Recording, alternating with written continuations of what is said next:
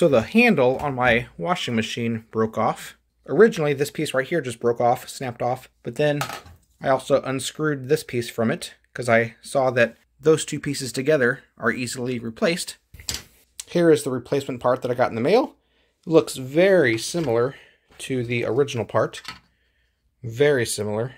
So I think I just got to screw this one in and it should work just fine. It did not come with screws, so I'm just going to use the same two screws that came with the original one. Which is not Phillips or flathead. It's actually like a little star bit. Screwed on just fine. Looks like it works perfectly.